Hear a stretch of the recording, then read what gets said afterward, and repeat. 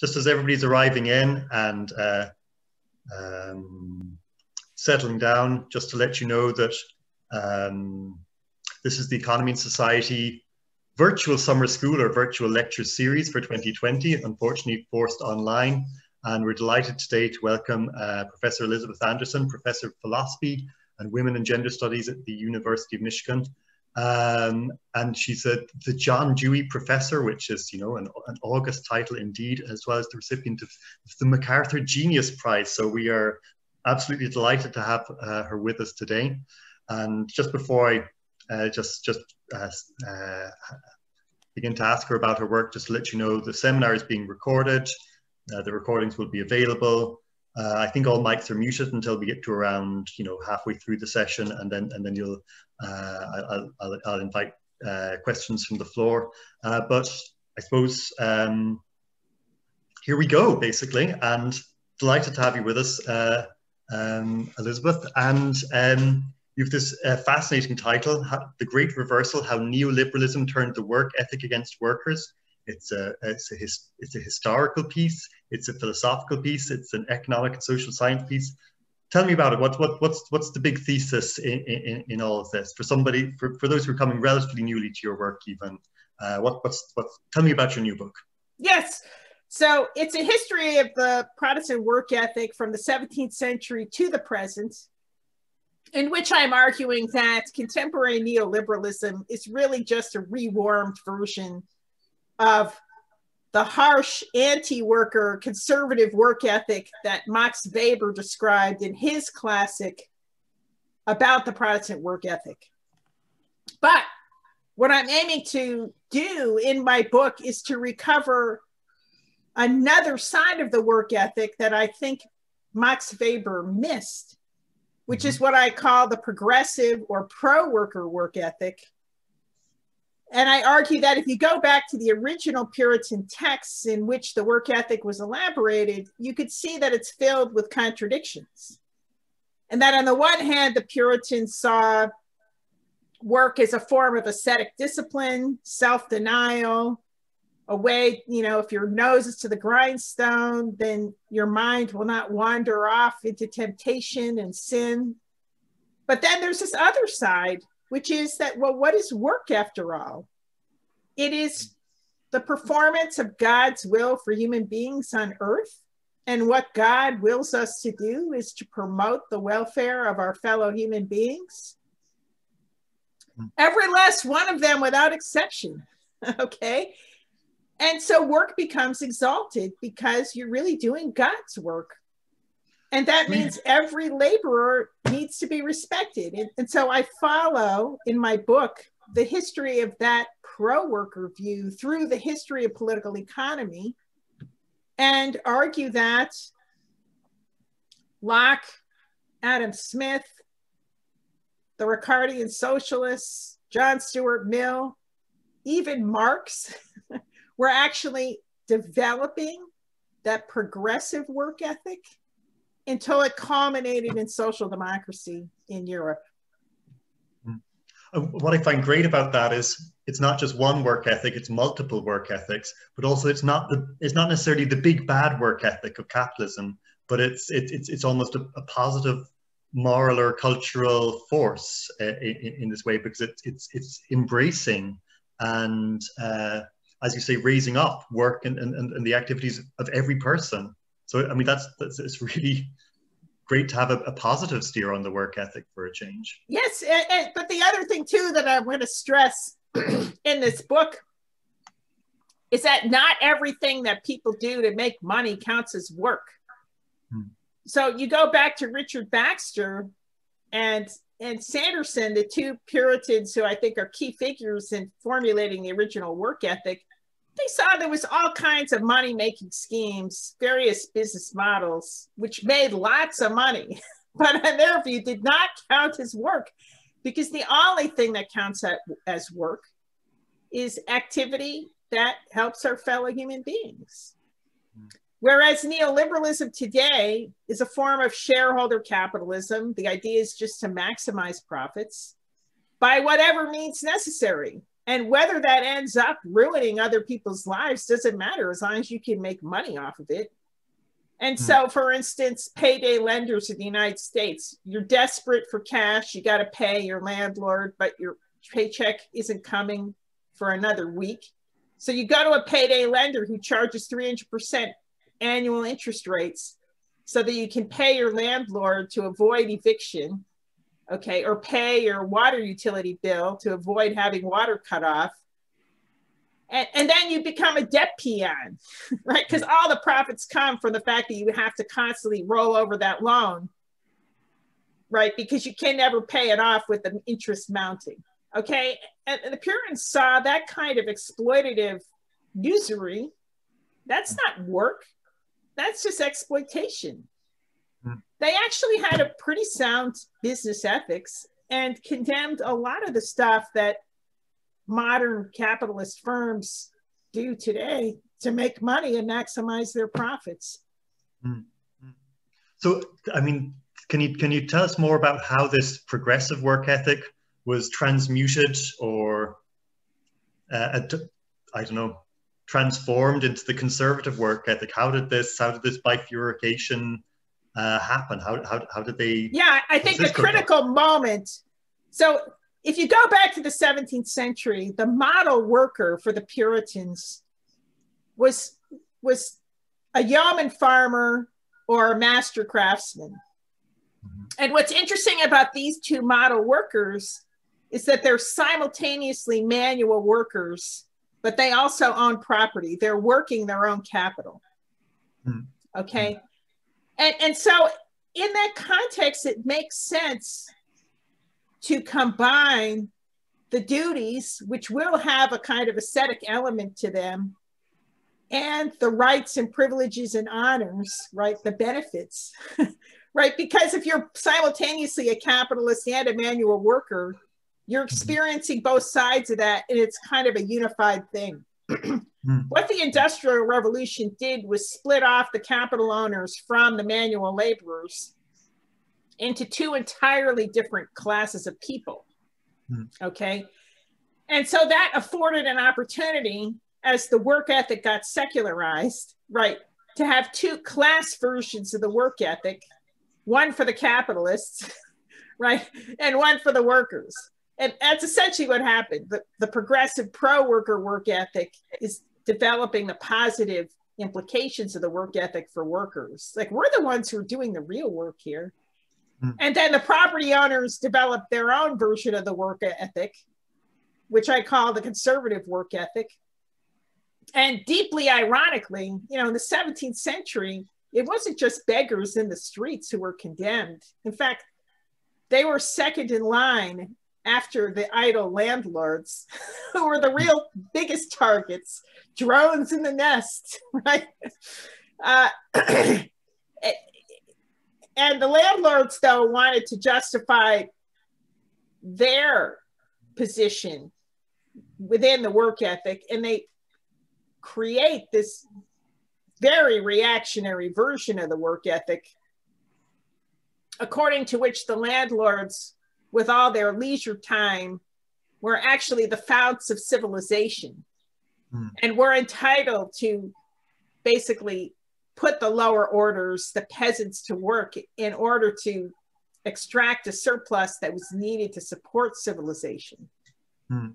So you see that picture in Whately. Mm. Uh, um, and it, it was the foundational theory of imperialism which yeah. was, you know, inherent in the British Empire, including in Ireland, as you I'm sure are vividly aware. yeah, I was just struck actually. But, but I mean, and I, I, I kind of encountered it before in your work on you know when the markets were left, but this position of the the, the worker, owner, occupier, capitalist, and laborer combined in sort of the form of the petty bourgeois landowner or something like that, or the, or the smallholder, the small landowner. And it just strikes me, just as you're saying, isn't that, I don't know, isn't that a recipe for good ecological stewardship of a place? Because if you if you are invested in this one place and your capital is not mobile, but uh, you, you, you own specific concrete things, it's interesting because this imperialist exploitation and this, um, you know, I, I, I don't know. Do you see? Do you see that they're? Oh, I agree entirely. I actually have a graduate student who's working on that very idea. Yeah. So she is developing a Lockean theory of property um, for um, environmental justice, basically. Mm. Yeah, and de- definitely defending the smallholder who's a much better steward of the land than mm. these giant mega corporations that are taking over agriculture in the United States. Mm. Yeah, that is fascinating. Um, sort of feel I might have interrupted you too early then, just when you're getting going. But um, can I ask you about um, in, in in your work? outsourcing has a particularly strong importance. And I was just struck by this as, as we look at the, the vaccines being spread across the world. I thought, Jesus, why are we, why is so much of that outsourced? How crazy. What a strange way to, you know, the next thing, next time there's a world war, will we be outsourcing the tanks, you know, probably something like that, you know? Um, why is it, why is it you think that this, this, this conservative work ethic uh, connects into the capitalist uh, practice of outsourcing so strongly? Yeah, well, that really goes back to Bentham. and again, you know, if you look at the beginnings of the Industrial Revolution, I argue that they're basically it's a it's a you have a kind of competition, maybe even an esteem competition between the the government workers who are basically all coming from the aristocracy and the industrialists who are very disproportionately dissenters.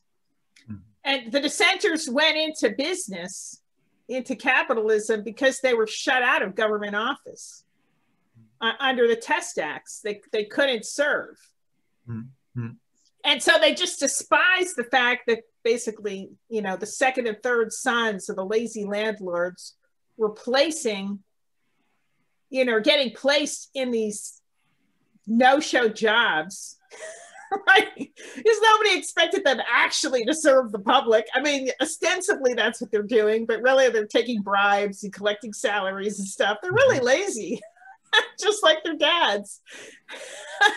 and right, and these these dissenters, they're, they're descended from the Puritans essentially, and they just despise these people right? And it wasn't crazy in their day to think that government workers were really lazy. They were. Look where they're coming from. There wasn't really a serious concept of civil service. Hmm. And they didn't have a professionalized civil service back then. In, in fact, the civil service in Britain was an innovation of the East India Company around the time that John Stuart Mill was an officer right. in the East. But that's like already a couple decades after Bentham. Sure. So it wasn't crazy for Bentham to think if you have an important function to be served, public function to be served, it's probably not a good idea to assign that function to the lazy government workers. Hmm. Get this industrial, right, industrious businessman to do it, and it'll be much more efficient. And and that's really the, where outsourcing comes the fundamental argument for outsourcing. And indeed neoliberalism is really just unknowingly dredging up bentham's original arguments right mm. and putting them in fancy you know public choice language. But it's really the same idea. However what i argue is that it actually is kind of it isn't taking account of the fact that societies have developed since Bentham in two very important ways. One way is the government's actually acquired a professional civil service. Mm-hmm.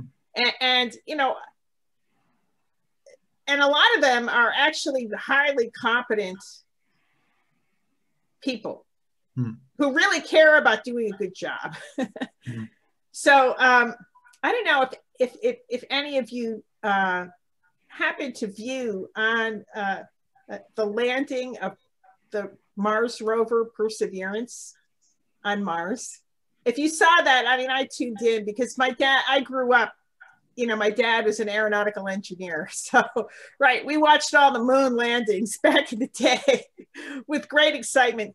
And what I loved about this was that these are all government workers, by the way. They're part of NASA's big government agent. These people are very high tech people. Mm. And they land this rover, which is just an astonishing piece of engineering. And it is true that they worked with the private sector on a lot of things, but still, the mission itself was under the control of, of government workers. And after it landed, there was a little speech that was given by uh, basically the the head guy who was managing the whole landing.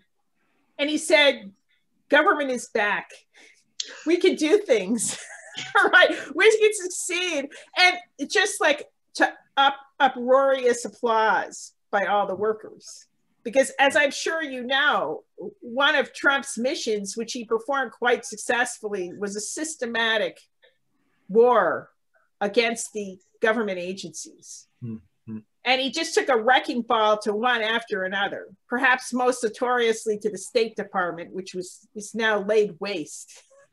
but in fact, most of the agencies have been wrecked and corrupted hmm. because the leadership that, that Trump appointed was themselves either corrupted, self-dealing, or utterly incompetent and had no idea what the agencies were doing and ha- didn't care about their missions or they were actively hostile to their missions, like the people he, he appointed to run the uh, Environmental Protection Agency. Mm. Okay, right. So they're all demoralized, and finally, right, here's a great success. And really, I bet the whole civil service was watching, not just NASA, mm. and, and, and seeing that finally their work was being appreciated. Yeah. Why? Because these are professionals. Mm. I mean, I think it's it's, it's very interesting um, that critique of states that you get in kind of liberalism and all that. But go, kind of going back to Bentham, what really strikes me is when I was when I was reading your work, um, you that this word associated with Bentham, utilitarianism. It's sometimes yeah. used in such a narrow way, especially, especially. I mean, I don't know something. Maybe it's about the narrowness of my own academic orbit, but utilitarian is almost a curse word or something because it's associated with Bentham's ta- you know tables of pleasures and pains and this individual self-seeking.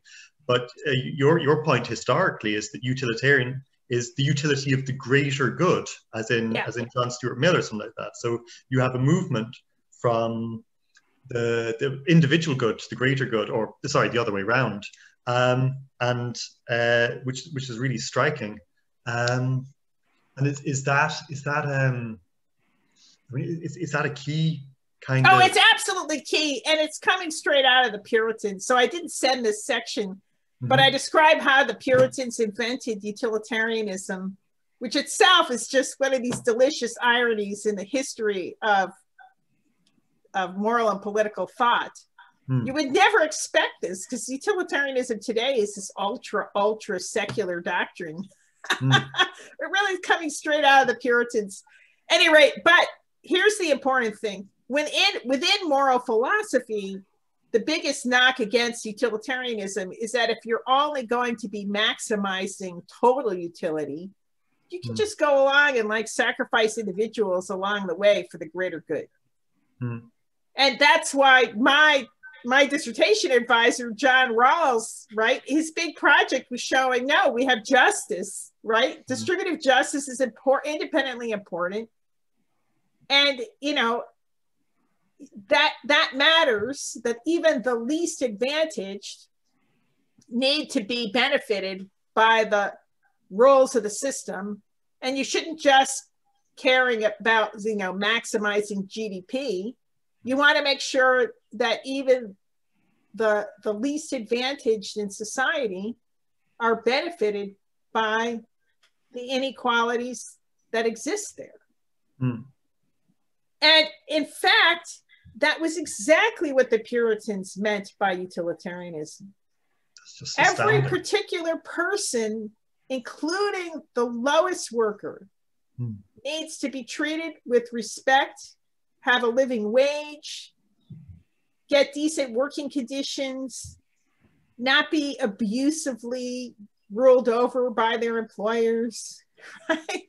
It's all there in the original Puritan text. You have to bring everyone along, no one left behind. Yeah. And so all their prescriptions about maximizing profits were under these constraints of distributive justice. But as utilitarianism got secularized and turned into the conservative work ethic, they tossed out any obligations to uplift mm. the least among us, right? Right. And, and right. So you could just exploit them just in order to maximize profits. And that's also what shareholder capitalism is about. Yeah. Right. You just run roughshod over the people who are too disadvantaged to effectively defend themselves. And, and just, I, you know, it's fascinating. I mean, like this, this, this, I mean, this is, um, this is really interesting because it's, it's we're, we're covering some terrain which is in a way sort of familiar and yet from a really different angle whereby we're finding most of the ideals and the economic notions uh, underpinning them actually have religious roots. Oh, yet, totally. Yes. But yes, not all of them, right? Or or those things that are, are are there also religious roots to be found beneath the conservative work ethic or or, or the well, there are, right? Because it comes from this idea of work as ascetic discipline, yeah. which is also there in the Puritans. But okay. it's only discipline for these lowly workers, right? Not for the capitalists. yeah. Right? I mean, Elon Musk could be tweeting and having fun with his work. yeah. Or, or as they say, Jeff Bezos, the first Amazon worker ever to get a break, you know? Yeah.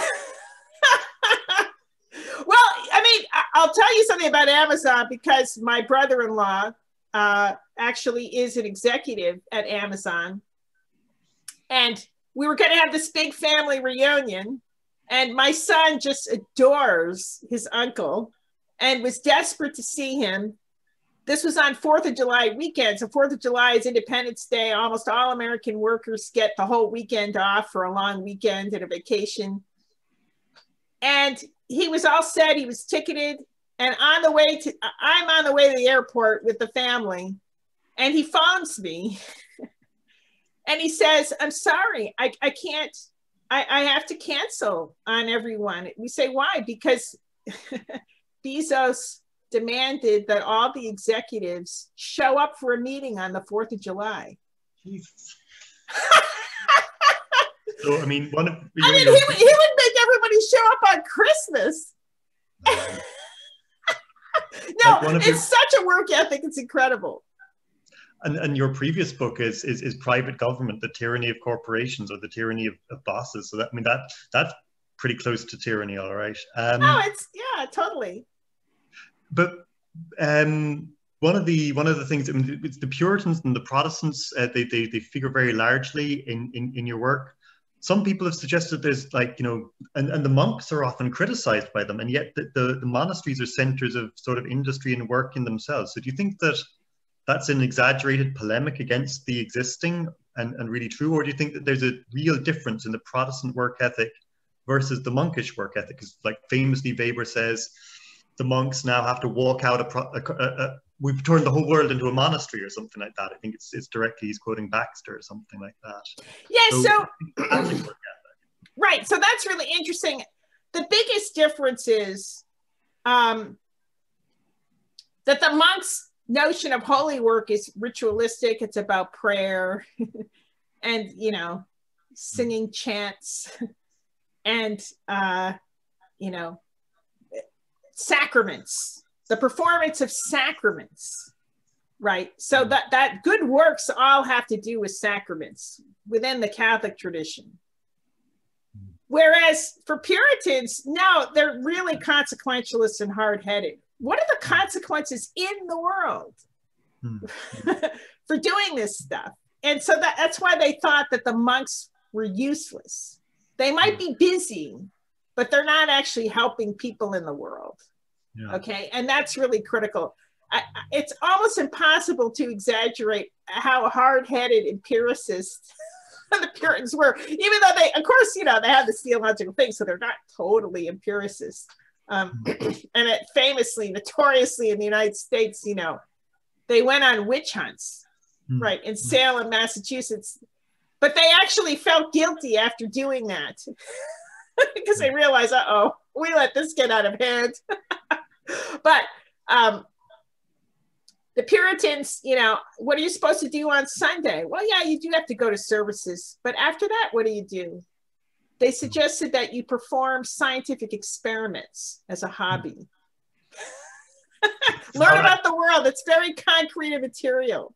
So that's us, basically. We're, uh, we're, we are these people. If we have any time off from, from teaching, we'll do scientific experiments. Yeah. yeah. yeah. I mean, you know, it's, it's a fascinating historical uh, sort of sort of work, and um, I kind of want to just return you to the present because you, you I mean, what, what I think is really important about this, uh, this, this is that you have different work ethics and the different possibilities for different combinations, and that maybe the progressive work ethic might might have a comeback or something like that. Now that we're in this this totally liminal crisis point of COVID and the pandemic and the ecological problems, do you see that there's any sort of, do you have any sort of hopes for the resurgence of the progressive work ethic? Uh, part of our part of our, our, our theme is is what kind of hopes are there for the future in this darkest of times? Yeah, well, I do I do have some hope for a, a renewal of the, the, progressive work ethic. And let me tell you a little bit about the um, context in, in the American context. I mean, as you know, we are in a crisis of democracy. Hmm because the Republican Party really doesn't believe in it anymore. Hmm. However, from an economic point of view, it's quite surprising how far left consensus views are. Not, of course, remember, everything in America, politically speaking, is well to the right of everything in Europe, practically. but I mean, so relative to our spec political spectrum, whenever increases in the minimum wage are put to a referendum, including in the deepest red states, they win. Hmm. That is underlying popular opinion. You could talk to, to most Republicans and they think, yes, of course we should increase the minimum wage. It's outrageous that people could be toiling away at two jobs and still hmm. be impoverished, which is the case in the United States because our minimum wage is scandalously low. There's a hmm. lot of other economic proposals like this that the plutocrats in the United States don't want to see happen, but in fact are broadly popular. Biden's $1.9 trillion economic plan for dealing with the pandemic is wildly popular, even among the Republican rank and file. Mm-hmm. right. it's great because it's it's not just it's not just a criticism of everything that there is because we're so much about critique in, in, in the academy or in politics, we criticize things, but what you're suggesting, and rather than criticizing the single work ethic, we're mobilizing the ideal, the better norm of the progressive work ethic, something we can all get behind. Yes, exactly. And that's that's what I want to say, especially in the work ethic saturated the United States to recover this positive tradition. And the truth is, is that neoliberalism has a lot to answer for, and Americans are pretty upset by a lot of stuff.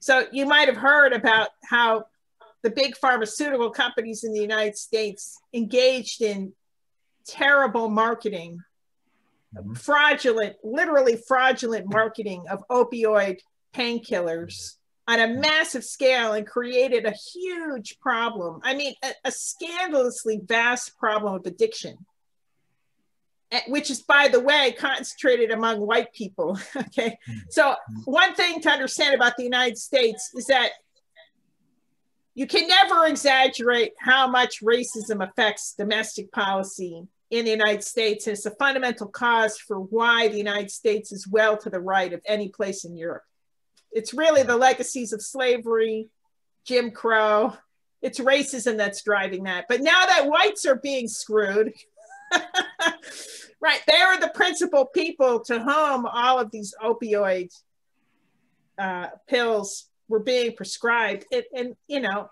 they're dying. They're literally dying en masse from this.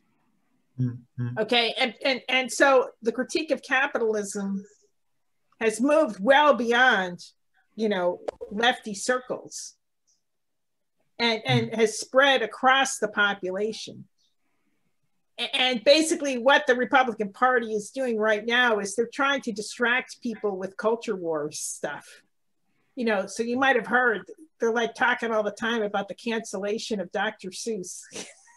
Yeah. right?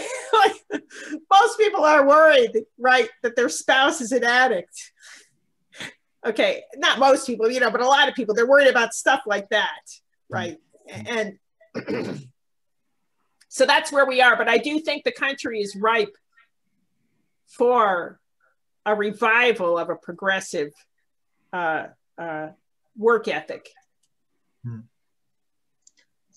And astounding that that, that that that that could be a hopeful time, thing in these times. But as you described the work ethic, it, it genuinely is. So I'm gonna I'm gonna step to one side to open up the uh, the. But thank you so much for talking to me. It's and, a pleasure. Um, yeah. For sending sending all these things on and reading more, and we'll, we'll talk uh, more later. But I'd like to just invite people to uh, spot into the chat, and we'll we'll um, we'll see if we can uh, uh, give them the mic if that's possible. Um, and um, I see Jordan Kerwin's hand up. I, I, I don't know. Can you can can can he speak or not? Or? Yeah, no. I uh, put myself back on it. Um, yeah, I'm good to go. And I realised the irony of um, asking this question when there's a crucifix bolted to the um, the wall behind me. Um, I haven't talked about Puritanism and, and everything else with it. Um, I, I, I, had a conversation just with a friend um, the other week. I know you're kind of talking about, I suppose, being kind of hopeful about kind of nearly this kind of reimagining of, of a work ethic. But is, is there a risk, the way the world is at the moment, that we're nearly too far over the edge? that it's it's almost kind of like this this hyper neoliberal society at the moment that is there ever really an opportunity to kind of work back to to an alternative or, or to have an alternative present in society the way way neoliberalism and, and capitalism is at the moment? Oh yeah. So i mean the, the the conclusion the concluding chapter is really uh, of this book is a critique of neoliberalism and then an attempt to re-envision what a truly progressive work ethic would look like and it, it's it, it's calling basically for an updating of social democracy and an important thing which i, I didn't include but max weber correctly argued that over time the work ethic got secularized but what does secularization mean? It means pulling goods that are promised in the next life into this life. And what was the principal good that Richard Baxter promised people who obeyed the work ethic? Well, when you're saved, you enjoy the saints' everlasting rest.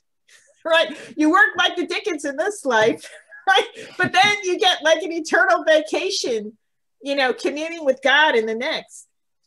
And as the work ethic secularized on the progressive side, what this meant is that leisure is good. And one of the principal achievements of social democracy in Europe is guaranteed paid vacations, right? As an end in itself, not just to recharge yourself to work again, right? And yeah. that's that's like a classic example of secularization in America, you know, workers, there's no guaranteed paid vacations. We're the only rich country in the world that doesn't have that.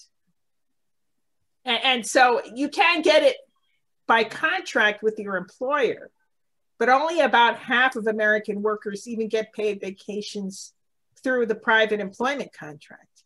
And if you look at how Americans work, a majority of American workers don't even take all the vacation they're entitled to. right? yeah. Because we're like, right, the work ethic. Yet be forced to take an extra day. Uh, you have holidays built up, please take them. Uh, so we don't have to take them away from you. kind of kind of situation. Um, but it's interesting. There was, there was another kind of half question um, that I had kind of coming into this is, I think before the pandemic, I think there was this kind of um, kind of building conversation that um, you know certain countries were were trying to implement kind of this uh, kind of a four day working week and to kind of promote more leisure and, and family time and so on and so on and i think it's really interesting to see what like certain jobs and certain businesses that all of us like always would have said, right, we need people on site and they need to be here and present are now starting to realize that a lot of the things that people could be doing can be done from home in, in their kitchens or, or front offices or, or whatever it may be. Um, so I think that's really interesting to see now in, in terms of where our work ethic may end up is that I think a lot of people are kind of surprised about what they can achieve um, from their from their spare rooms and, and, and so on. Uh, it's just really interesting to see what that'll do for certain reforms over time as well. Yeah, I agree. I, I think it raises interesting possibilities. Although a lot of people, I mean, it's complicated because with the pandemic here, women in particular have a really tough job if the kids are home from school due to the pandemic mm. or their preschool kids. And and it's actually been catastrophic for women's employment because many of them have had to quit their jobs to take care of the kids because they can't do both. Um, and the office does serve functions a lot of social functions actually. So there's this experiment done by one firm in the united states giving people the option well you could stay home or go to the office and they found that the people who stayed home and worked from home were more productive but if you but then they got so your sanity You're crazy.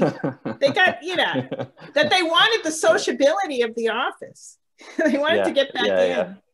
I think maybe a hybrid model would be good though. It'd be good to be able to cut back on commuting. It pollutes, yeah. you know. Yeah, definitely potential anyway. And I um, people do need face-to-face engagement. I miss my students in the classroom. Yeah. Yeah. Can I just cut in? Some people are having difficulty, I think, raising their hands. I think there's a raise hands device, and then we have we have a, a good a good number of questions. So I want to go to Tara, then Rebecca, then Bjorn, then Balahar, then Jody, and any more questions are, are, are, very, very much appreciated. But if you can't raise your hand or just just speak up, I think to Tara next we're going. Thanks. Thanks. Um, hi, Elizabeth. I just want to say I'm a huge fan. um, very excited to meet you. And um, uh, I was wondering, I mean, I you kind of touched on this a bit, but you know, it's if if if the um, policies of Republicans are so unpopular, or they're so against the popular policies um, in the United States, then I'm wondering, you know, pre-Trump. I know I know that the base is is like Trump is kind of keeping the base going. But before Trump, how did they have a base? How were there still people? I just don't understand the the logic of people voting against, you know, their welfare. And I'm wondering if it has something to do with I mean, and, and also the fact that so many of them are very religious. Oh, that's a huge part of it. Yeah. yes. So 25% of the American population is Christian evangelical.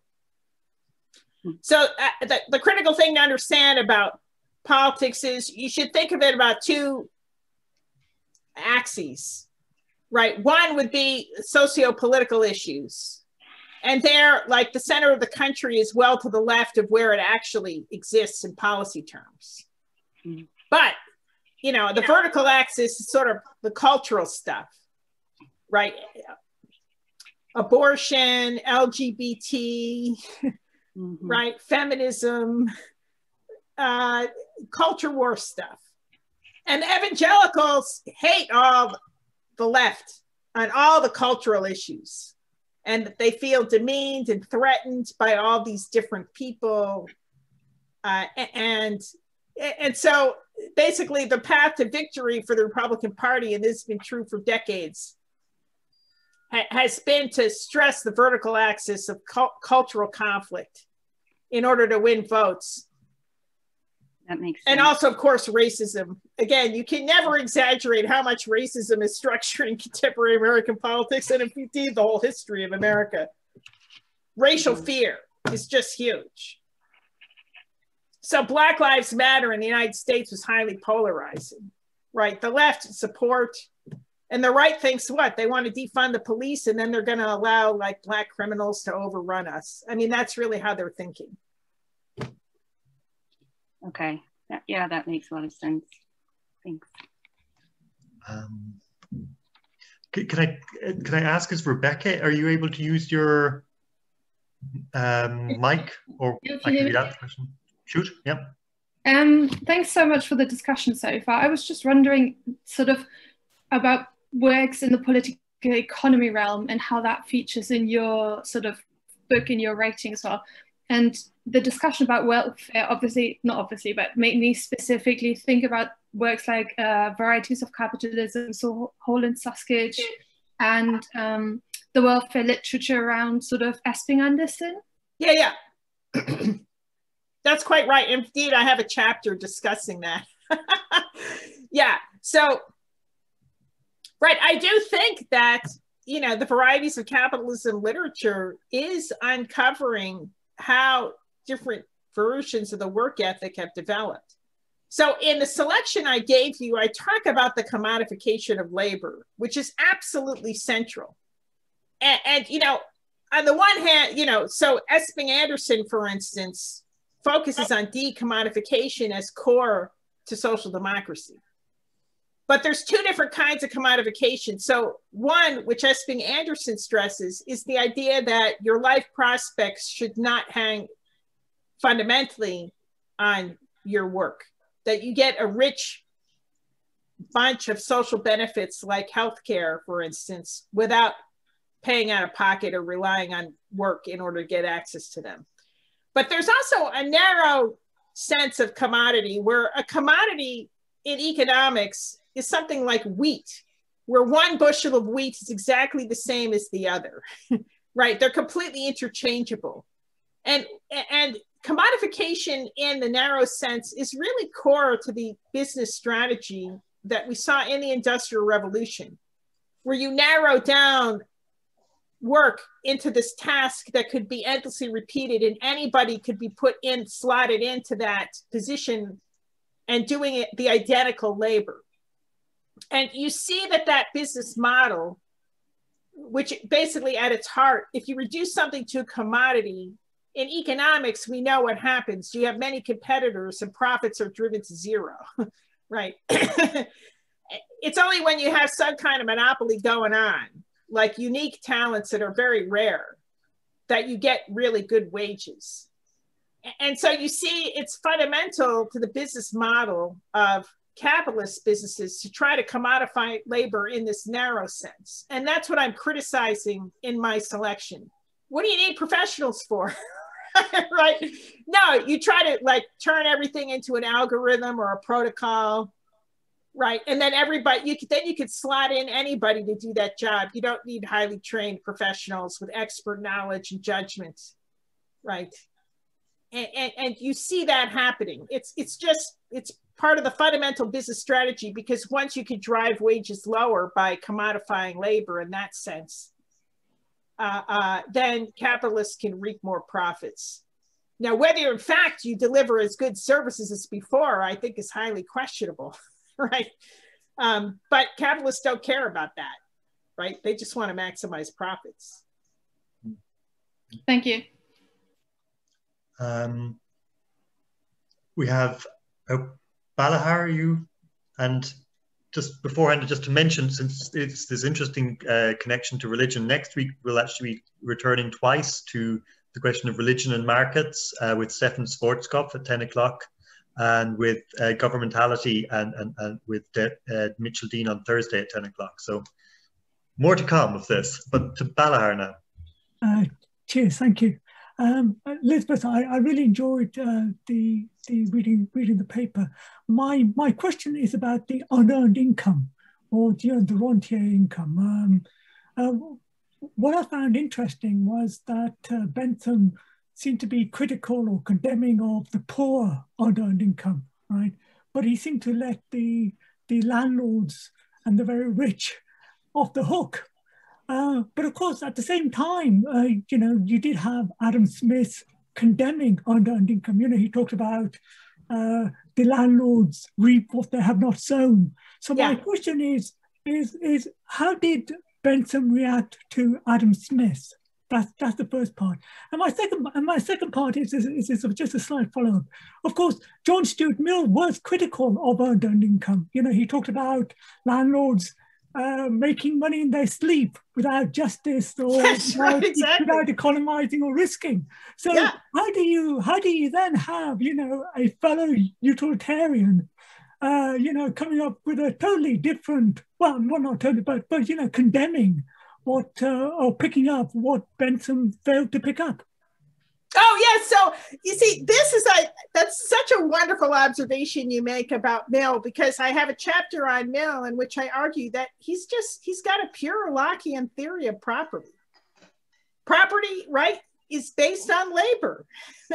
it's the people who work the land who are entitled to it, and, and I'm sure you're aware that that was the basis for his plan for uh, land tenure reform in Ireland to to to see to it that the peasants, the Irish peasants, would get the land because they're the ones who are working it. And he held that very consistently through his whole career.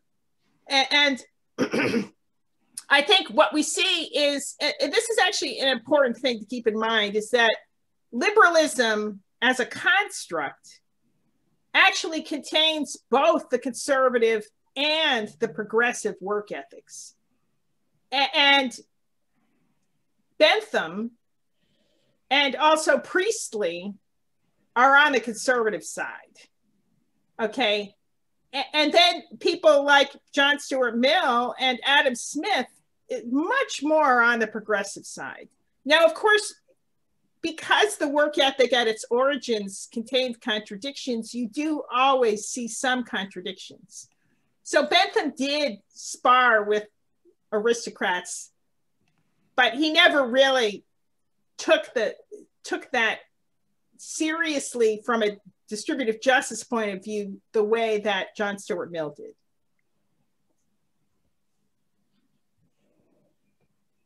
Cheers, thank you. Um, can I turn to Jody now? I have in my stack. Jody, are you? Yeah, hi, I'm here. Um, thank you so much. Such fascinating talk. Um, I uh, just my question is, I'm, I'm interested in the sort of Puritan roots and the sort of relig- religious roots. And um, you talked about the fact that there may be a renewal of this um, positive work ethic in America. And I'm just thinking about the Puritans and how they would have obviously had a, faith, a belief, you know, in God, and that would have they would have seen themselves within the kingdom of God, you know, working sort of in the world but not of the world. And how then can can this positive work ethic be incorporated in, in the secular world? I mean, obviously it hasn't it hasn't so far worked very well. As you said, it's split off into kind of two directions. But if we see a renewal without the kind of motivating factor of faith in God in, in the Puritans, like how how can we see that renewal, you know, of the positive work ethic? Right. Well, so over time, the work ethic got secularized, and um, and both sides, both the conservatives and the progressives, developed the work ethic in in in very secular ways. So let me just tell you about my favorite example of this, which is in Marx. Um, you know, social democracy came out of Marxism. And if you read the very first work that Marx ever wrote, which was his final examination, his graduation exam uh, from high school, uh, it was an assigned uh, topic that he had to write an essay on, on a young man's choice of vocation. And what he wrote was almost an exact reproduction of Sanderson's criteria for how you do this, thrown in with the German Enlightenment ideal of Bildung, the idea that you should develop multi-sided talents um, in your calling, and that you should, in working for the benefit of others, receive recognition for that work from the recipients of your services or your labor. And, you know, already there in high school, you have almost complete his ideal of unalienated labor. And then what, you, what my argument is, is that his critique of capitalism is basically that it does not, it, its form, the labor form that it's created is unworthy of the kind of commitment uh, uh, that the work ethic demands of us. And what we should seek is a society that would organize work in such a way that it would actually inspire our enthusiasm, and rightly so, right? Because it enhances our own talents and it's a source of recognition from others of the value we're contributing to society. And then, and then we would want to work, right? And so the progressive work ethic, instead of just telling workers nose to the grindstone and feel lucky that you're getting a few pennies per hour, the progressive work ethic instead says, how would work have to be organized in order to merit the commitment that the work ethic expects of us? Okay. And then you see that both the content of labor, the recognition it gets, and the distributive rewards, right, have to go to every worker in such a way that they feel enhanced by the labor that they're doing. That's a pretty stringent criterion, right? And it, it can it, that could be developed in very positive directions. Thank you.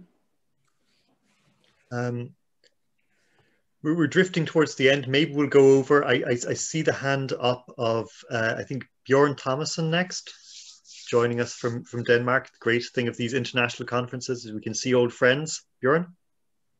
Indeed, and um, it's fantastic to see all of my Irish friends. There's an enormous echo on my computer right now. Um, we'll move that. But um, going to my question, thanks a lot, Elizabeth, for a fascinating talk and I'm learning from your work. Um, my question is to Weber's kind of thesis and whether he was actually right. Um, and there's a huge discussion uh, around that. And um, economic historians tend to be much more skeptical about it than sociologists who kind of buy into what he said. And there are, I mean, there are two main dimensions, I guess, to the debate. Um, one is, is really historical and tracing back the work ethic uh, can be done at least to the Benedictines that had ora et labora as a motto. And this was certainly not just ceremonial work. Uh, it was land, uh, it was uh, development of technologies, irrigation systems, buildings, uh, medicine, uh, anything one can count as work they were engaged with. And, and, and, and really, that is one big part of the discussion that Weber was exaggerating what really happened there, and it can be taken further back uh, the other dimension is, is more empirical. Several economic historians have tested Weber's hypothesis in German lands, trying to see if there really was a difference in economic outcome and economic growth. And Germany is perfect for that because you've got, after the Reformation, um, the different territorial units of Germany are neatly divided into conf along confessional lines. So you can, you can measure pretty easily. And there is consensus now among economic historians that the effect on whether it's a Protestant or, Catholic area on economic performance is around 0.0. yeah. Right. It, it, really, it really, it cannot be traced empirically, right?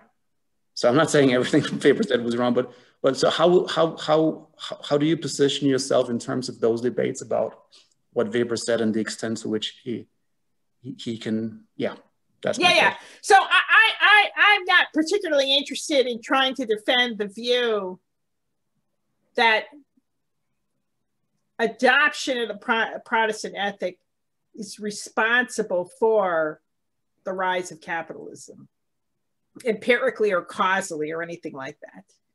Right. And, and so I, I, I'm not committed at all to the view that, you know, you could sort protestant you know, and Catholic areas, you know, and say the work ethic made the Protestant areas more advanced capitalism.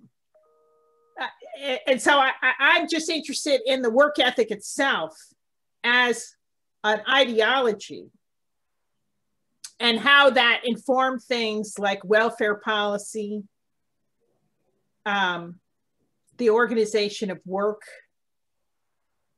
um,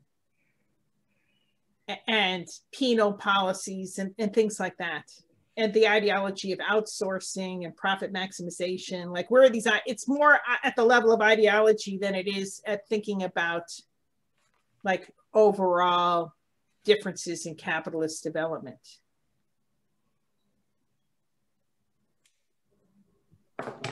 Thank you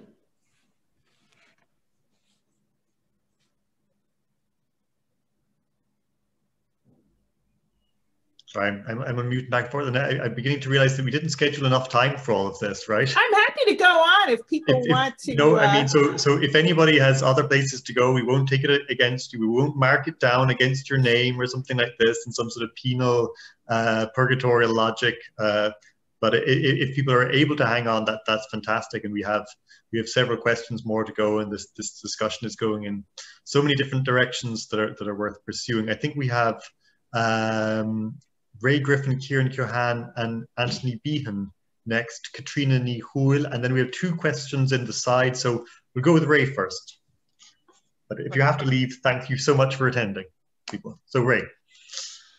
Thanks a million. Um, that was a really, really uh, smashing uh, conversation uh, between Tom and yourself.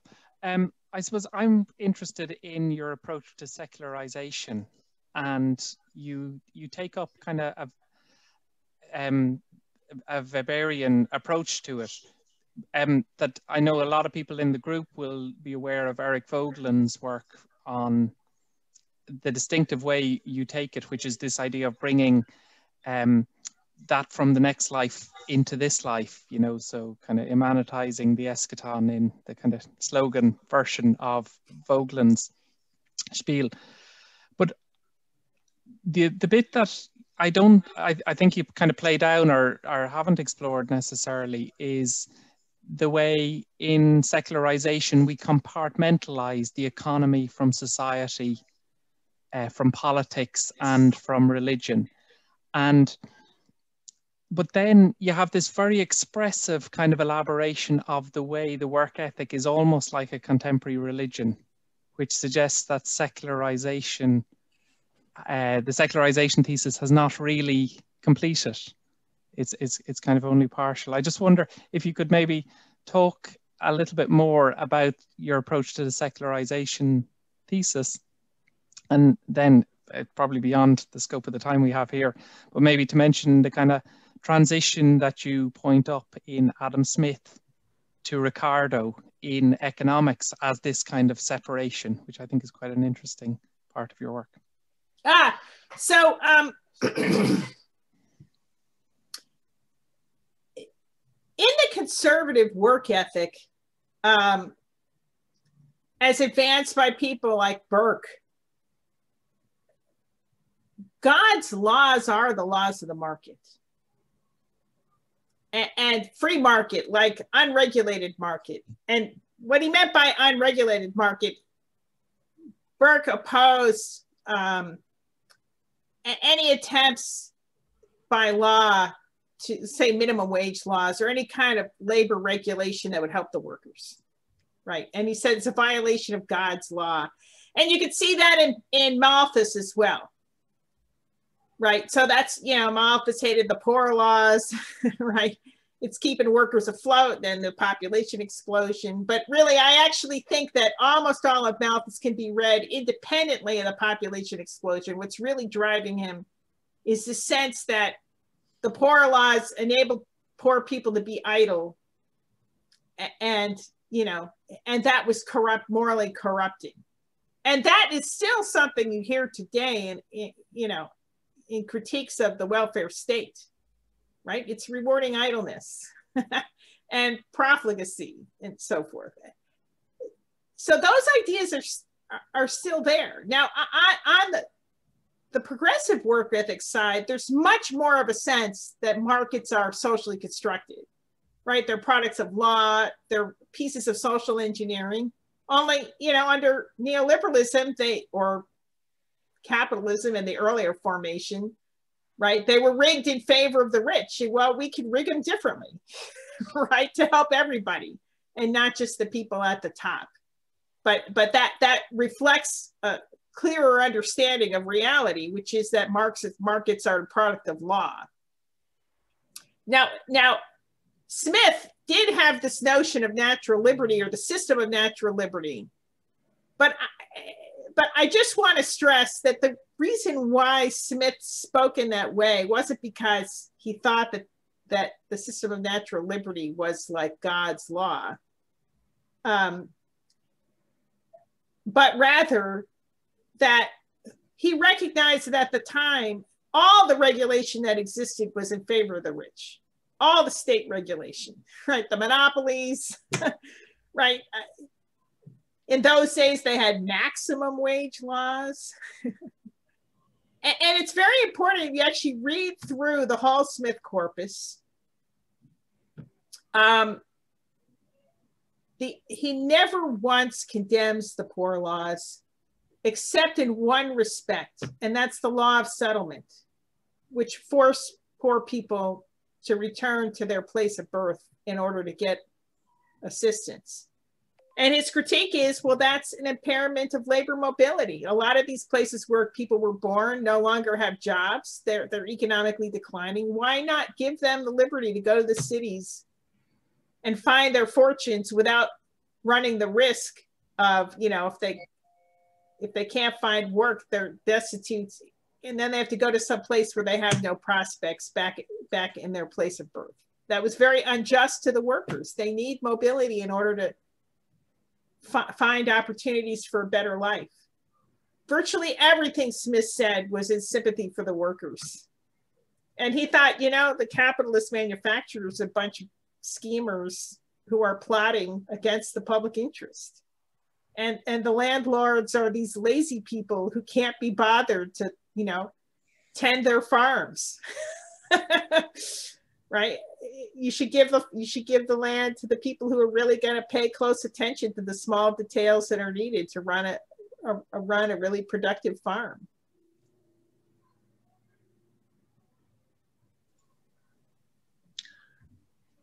it's it's it's a re, um, I sometimes feel that the, the, the, technology doesn't allow us to have a, a really great discussion. It's a Q&A kind of uh, machine, this, right? So in a way, we could keep going with all these discussions. And yet, moving on to Kieran with a question. Thanks again, Elizabeth, for... Uh... Thank you very much. Uh, very, very interesting. I just want to take up one, one, one theme uh, within this, which is uh, you know, uh, an essential aspect of the of the work ethic originally in Weber's formulation is, you know, that people throw themselves into their work to avoid the terror of damnation, of, of not being amongst the elect, and so on and so forth. You know, so you have this, uh, um, uh, and that that libidinal economy. How does it play out presently? And in other words, one of the things that's happened there is, you know, that the the religious uh, uh, vehicle of that has has fallen away. So people throw themselves into their work uh, now, not so much out of fear of damnation in that kind of traditional sense, but fear of meaninglessness, fear of the void, as it were, you know, that everything is just opens up, you know. Uh, opioid addiction is a, a, very interesting symptom of that. Uh, and so on. But I, am I'm, I'm interested, I, I, guess, in the ways in which uh, it's that is really one of the keys to Trump and Trumpism and QAnon and all of that. You know, in other words, that uh, in the with no work to throw yourself into, you know, all of that uh, disappearance of the the uh, jobs of uh, blue collar America and so on and so forth. They need something uh, to fill that void, you know, to, to kind of take the place of uh, meaninglessness and so on. And that's uh, typically, as Weber predicted, you know, the the, uh, uh, the the demagogue, you know, the charismatic authority who promises, it were, to fill out the the, the void. I, am just wondering what you think of that kind of hypothesis. To that, so you know, as I pointed out, even my own students who are overwhelmingly upper middle class, they feel a vague sense of guilt when they're not working for a wage. It's very strange, but but for the for the working class, especially the white working class in the United States, they really have objectively experienced declining prospects. Mm-hmm. You can measure this in declining life expectancy. Mm-hmm. Uh, so the economists. Uh, um, Anne Case and Angus Deaton talk about deaths of despair, and you can measure it. Like, why does the white working class have a lower life expectancy? Mm-hmm. It's overdoses, alcoholism, suicide. I mean, it's like these awful things. And if you look at where the the shift, you there's very fine grained studies that have been done. If you look at the shift from voting for Obama in 2012 to voting for Trump in 2016, okay, like that's a very small number of voters, but they swung very radically in precisely those areas that suffered deindustrialization as a result of international trade, with the factories then moving to China and Mexico. And Trump's message was, you know, a foreign enemy, right? I'm going to cut better deals. Mm. It resonated. And, and, you know, you talk to a lot of these Trump voters, and the men especially feel at a loss.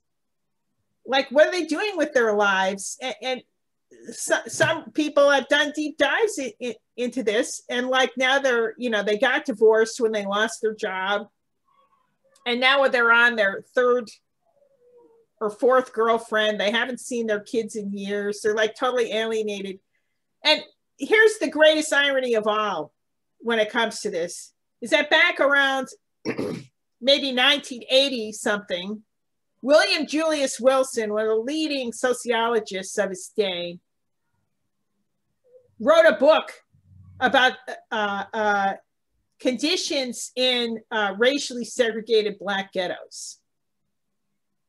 And it's called The Truly Disadvantaged. It's a sociological classic in America, in which he argued that what happened to Black people was they basically got hit by deindustrialization first. And they couldn't leave because the way housing works in the United States, they're stuck in the inner city where manufacturing left but there's so much housing discrimination that blacks couldn't move to the suburbs where all the new jobs were popping up.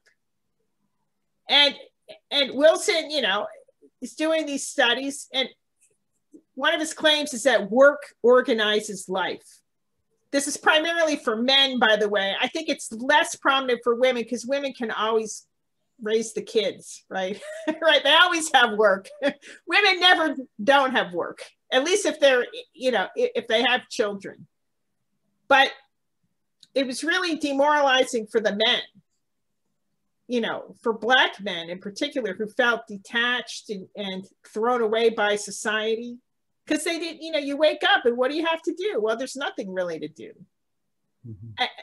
especially if they're not married to the mother of their children it's very alienated and now the same thing is hitting whites. And it's so ironic that this is happening because whites for the longest time said, well, it's just because blacks don't have the work ethic. Right. And now they themselves are without jobs and being demoralized in the same way with family breakdown and drug addiction and all these kinds of things. Right. So they're suffering from the same economic forces that blacks suffered from decades earlier. It's just caught up to them, right? Just draw uh, just in case you guys are not watching the chat, just on the side in the chat, there's a few questions that are really strongly connected to this because um, it mentioned the, the, this thing of the despair and, and the meaninglessness, but also the importance of, of, of gender here. Um, can, Katrina Nihu's question is spot on that, just as oh, you're oh. discussing oh. this now. Um, Katrina, are you still there and able to use your mic?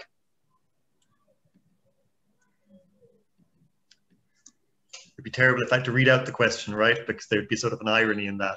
Yeah. Said she has to leave. Did she have to leave? Oh God. She or Elizabeth Creed similarly, but you know, along the lines of Kathi Weeks' book, The Problem with Work, the feminist critique of work. Um, you raised the question of how would work have to be organized in order to merit the commitment the work ethic demands. But how does this question relate to the feminist analysis of capitalism's reliance on unpaid labor, care, domestic and reproductive, which we were discussing just before we came on? How can this kind of work access the recognition, reward, or potential for personal enhancement associated with the progressive work ethic? Oh, so, oh, absolutely. That's such a fantastic question. And, and, you know, if you go back to the Puritans, domestic dependent care labor was unquestionably work that's fully fulfilled the demands of the work ethic. Of course, it's work. Child rearing is hard work and socially necessary. obviously. And, you know, under capitalism, of course, capitalism wasn't really interested in accommodating that because they couldn't make profits off of it. right? But this is what's so stunning. So you might have heard that Senator Romney, of all people, has promote has proposed for the first time for a senator at least uh, universal uh, child care allowance, $300 a month. And you would just get it automatically for as long as your kids are, you know, minors. Okay. It's unbelievable that he would come up with this because number one, he's a Republican. Okay. And Republicans never, ever cared about this, right? because they always had the model of the male breadwinner and the dependent wife taking care of the kids unpaid because she'd get her income from her husband. That's always been the model in the Republican Party. So for Romney to come out with this stunningly progressive proposal, which, by the way, if implemented, would lift literally millions of children out of poverty. It, it's just mind blowing, especially since when he ran and was defeated uh, when he ran for president and Obama defeated him, he was caught on tape uh, with a secret taping of a private meeting with fundraise with donors for his presidential campaign, in which he was railing about the Democrats already have 47% of the vote. These are the people who won't take responsibility for themselves and just want a handout from government. right? and now he's like completely turned it's it's I cannot exaggerate how shocking and stunning this is, but also the $300 a month is wildly popular. It, it would people would love it because it's very hard to be a parent in America and have to be working the crazy hours that their jobs demand. And $300 a month would just be huge. Whole drift to rethinking work to be to be had in all of this and under COVID, we have this nice support for just the work of the work of keeping safe. So it's it's you know a real rethink to be had. Anthony, I just want to bring in for our last. Is it possibly our last question? But Anthony Behan, you've put your hand up for some time yeah. patiently. Uh, sure, yeah, yeah. Uh, thanks, and uh, thanks, Elizabeth. Great talk, wonderful to hear you. Um, some of the things that Ray and, and Kieran already mentioned kind of relate to this, but I, I, I uh, my question is about the, the, the Protestant piece of the of, of, of, the work ethic and sort of the religious and the theological um, elements to it, um, in particularly during COVID and comments by U.S. politicians, particularly in Texas, if memory serves, that you know, particularly the older politicians, look, I should probably die in order that the young people be fine, and this sort of tendency towards a death cult.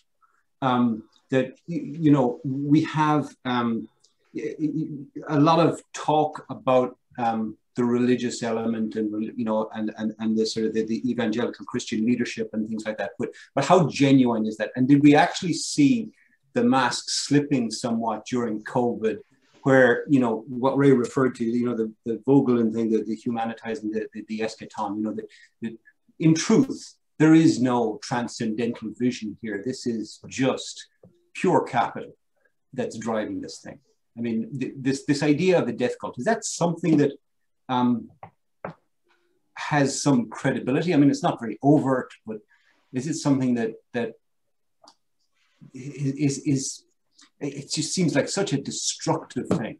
Um, Look, I agree with you. It's completely destructive, you know. But I I I wouldn't call it a death cult. It, it's by far the best theory that explains what's going on is a theory known as cultural cognition that's developed by uh, Dan Kahan. If you just Google cultural cognition, you'll get this whole website with millions of papers. It's about basically how different groups of people process informa- scientific information about the risks of different activities. Okay. And basically, the argument is that people process risk information through their social identities. Okay, and so they'll just if if if some if something like mask wearing is framed as a threat to their identity, they're just going to scoff at it. okay, and, and think this is ridiculous, it's offensive, it's violating my liberty and stuff like this, right? But if it's framed in a way that's consistent with their identity, then they'll be totally on board. So the basic idea is that people process scientific information about risks, filtering it through the way the risk is framed as either a threat to their social identity or as in conformity with it and affirming it. And so I firmly believe that had Donald Trump, instead of tearing off his mask in defiance, if he had told all of his supporters, look, we're all good patriots here, and it's your duty to wear a MAGA mask. And then he ran a side gig selling millions of masks with MAGA on it. Every single Republican would be wearing a mask. right? Because then he would have said, then he would have affirmed their identity. So this is a good thing. And they would have done it. Isn't, okay. it, isn't, it more about the, the, the, opening of the economy? Rather, I know the mask thing was one part of it, but the opening of the economy was really the big thing. Look, if we don't have the economy, we don't have a life. And therefore, the only thing we believe in is the economy. And therefore, you have this sort of nihilist thing. You, you use the phrase, uh, uh, the work ethic itself as ideology. And it's sort of this. Yeah, yeah. Although, you know, even when Republicans were in control, they passed trillions of dollars of support for businesses and workers. And you could keep that going for quite a long time. I, I the, the main thing was that it was administratively flawed so that small businesses had hard times getting access to the money.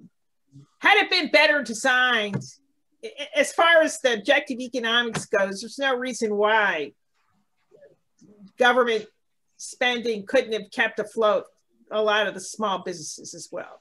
Yeah. Thank you. So are we um, running? Sorry, am I unmuted still? No, I'm okay. Um, I think that um, maybe our work ethic is is exhausted now, perhaps by these discussions, invigorating and all as they are. Um, uh, you know, time and a half should be paid for this kind of thing, although probably we'll only end up sending you a piece of Waterford Crystal, which is our, our post-industrial uh, postmodern chic of, of, of, of, a place that used to make things, but now is a tourist attraction. Nobody can come. Listen, I just want to uh, thank Elizabeth for, for such a stimulating, uh, a stimulating uh, discussion and uh, everybody who attended and asked questions. Thank you all very much.